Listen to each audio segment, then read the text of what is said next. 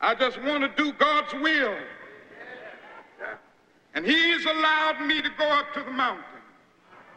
And I've looked over and I've seen the promised land. I may not get there with you, but I want you to know tonight that we as a people will get to the promised land